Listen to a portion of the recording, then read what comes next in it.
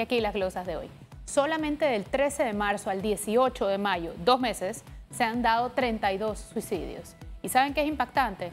En marzo fueron 5, en abril fueron 10 y en mayo hasta el 18 solamente iban 17 casos, casi uno por día. Esto sugiere que se va perdiendo la esperanza y que el confinamiento está teniendo efectos importantes en la gente. Fueron 32 suicidios, 30 de ellos en hombres que claramente no están pudiendo expresar sus emociones, su vulnerabilidad y su posible presión económica. Hay un alza en lo que va del año en Chiriquí y Veraguas y hay jóvenes muriendo por suicidio. 12 muertos menores de 29 años. Esta es la población que no sabe manejar sus emociones, que tiene miedo de su futuro. Y también hay adultos mayores, 6 mayores de 65 años, lo cual sugiere evidentemente desesperanza. Estas son cifras tristes y además no cuenta el subregistro que siempre existe en este tema por el estigma y el que dirán. Por favor, no estigmaticemos, escuchemos, no divulguemos fotos ni detalles. Está en nuestras manos ayudar a que esta situación mejore no solo en las autoridades que, sin duda, también deben poner a funcionar la ambulancia para estos casos, aplicar el protocolo y aumentar el presupuesto de salud mental. Y usted que me ve, si se siente mal, por favor, busque ayuda. En el fondo usted no quiere acabar con su vida, solo no encuentra otra manera de acabar con su dolor. Busque ayuda, no está solo. Llame al 523-6800, al 6020-9825, a la línea 169, a la 147 Recuerde, no está solo, la ayuda lo hará sentir mejor.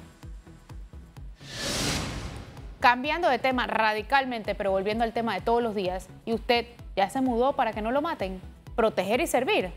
Por un lado dicen eso y aumentan los homicidios, y por el otro lado publican que decomisaron unas plantitas de marihuana. En un cooler estaban, en un cooler. O sea, da para tres porritos ahí y lo anuncian casi como si hubiera sido el señor golpe al narcotráfico.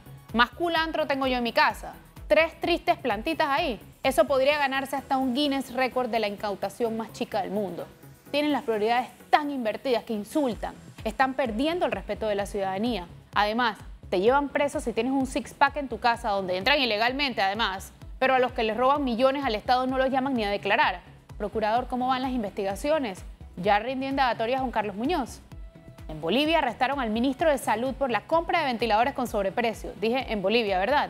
Porque aquí ni los responsables, ni los despidos, ni nada. El gobierno de la transparencia, decían. Ayer en Punta Pacífica repartieron bonos de 80 dólares. En Punta Pacífica. Con la necesidad que hay en este país, van a ir a entregar bonos en Punta Pacífica. Debo pensar que ya repartieron en todo el país y ahora toca Paitilla, Punta Pacífica, Costa del Este y Santa María. ¿Qué les pasa por la cabeza? No hay derecho Ayer fue miércoles y tampoco hubo la rendición de cuentas semanal que prometió Carrizo hace un mes. Así es que esperaban que confiáramos en su super transparencia. Y sin subir todo a Panamá Compra. Ah, claro. Y siguen sin, entre muchas otras cosas, perdón, sin explicar la compra de ventiladores del 2013 a los mismos que se ganaron la contratación de 168 millones del seguro. Son tantos escándalos, compras y decisiones legales sin aclarar que están perdiendo gobernabilidad por minuto. Pero si uno lo dice, responden que es que hay que estar unidos, que no es momento para quejarse. Sí, sí es momento para quejarse, porque crisis no puede ser cheque en blanco ni antónimo de transparencia. ¿Ustedes saben cuántos salvoconductos hay en la calle? 515 mil. ¿Qué tipo de control pueden hacer así? Eso es más del 10% de la población. Y a eso súmale las personas que salen a su hora y que salen a deshora. Ya para eso que levanten la cuarentena, ¿no? Dice Marcos Castillero que intentará reelegirse como presidente de la Asamblea, que tiene el apoyo de sus colegas y que ha hecho un gran trabajo para mejorar la imagen de la Asamblea. Un gran trabajo. Tuvieron que quitarle de las manos las reformas constitucionales porque prendieron este país. No pasaron un solo proyecto anticorrupción en primer debate. Volvieron añicos el proyecto de reglamento interno. Hicieron compras escandalosas. Dejaron de publicar la planilla y las asistencias por diputado y hubo cero transparencia en las votaciones. Imagínense si no hubiera hecho un gran trabajo, ¿no? Ya están los partidos pidiendo participar de la mesa del diálogo de la Caja del Seguro Social. Ninguno debería participar. Todos han estado en el poder y han tenido la oportunidad de cambiar las cosas y ¿qué han hecho? Patear la pelota creciéndola más. Y ahora quieren ser parte del diálogo.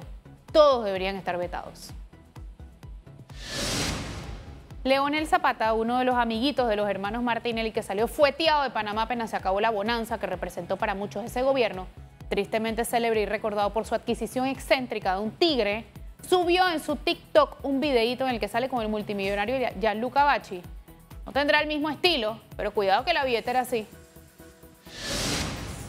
Me he quedado pensando en que al supermercado y a la farmacia sí se puede ir y entrar, pero las ferreterías solo pueden hacer delivery tres veces a la semana, medio día solamente. Me gustaría entender qué pasa en una ferretería que no pasa en un supermercado, si es que hay un riesgo adicional o qué. También ayudaría a aliviar las filas en los supermercados tener otros lugares donde comprar un bombillo, por ejemplo. Sería interesante, como por aquello de que vivimos en una democracia, en teoría, saber cuál es la lógica que hay detrás de estas limitaciones selectivas. Carlos Pérez Herrera escribió que extranjeros que parecen venezolanos, gentuza, porque así los describió, no dejan entregar bonos a personas que lo necesitan. Todo porque el señor le pidió al funcionario ver su carnet para ver que no era un embaucador, un ladrón. Hasta el video del señor puso, señor representante, el problema lo tiene el funcionario que se niega a mostrar su identificación, no el ciudadano, panameño como usted además, que con todo lo que está pasando está en todo su derecho de pedirlo. Más importante aún, ¿hasta cuándo su xenofobia y su discurso de odio fuera de todo orden? Y los saluditos van para el siempre decente procurador de la Administración que pedirá al MOP un informe del Hospital Modular. Otro saludito para la fiscal de cuentas que sigue con la barrería. Y otro para el presidente. ¿Qué pasó, presidente? ¿Por qué no ha salido más a hablarle al país? ¿Se le acabaron los lápices? ¿Qué pasó? Y usted que me ve, no olvide que a los funcionarios, trabajando o no, les siguen pagando los viáticos y los gastos de representación. Estas fueron las glosas de hoy. Si quieren volver a sintonizar, la van a estar en todas las redes de Med como en arroba Flor y mi cuenta de Twitter.